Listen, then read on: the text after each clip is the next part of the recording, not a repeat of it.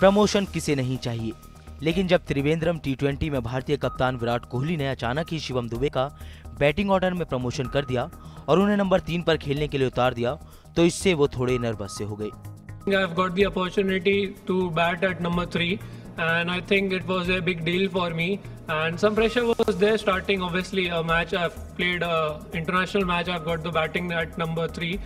अब भाई कप्तान ने फंसा दिया तो उस भवर से बाहर निकालने वाला भी तो चाहिए।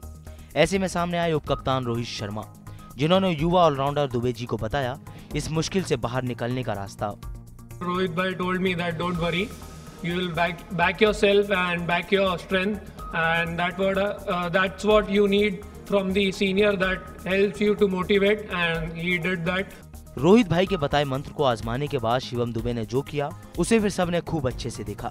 शिवम दुबे ने एक की स्ट्राइक रेट से खेलते हुए चार छक्कों के साथ तीस गेंदों पर चौवन रन बनाए जो कि उनके टी ट्वेंटी करियर की पहली फिफ्टी बन गई। Yeah really special for me because first fifty from from my side to Indian team but not happy because if you win the match that is more important for me team की असफलता ने शिवम के धमाके पर पानी ज़रूर फेरा लेकिन कप्तान की उम्मीदों पर खरा उतर कर उन्होंने टी ट्वेंटी वर्ल्ड कप के लिए अपनी दावेदारी को नई बुलंदी दे दी है।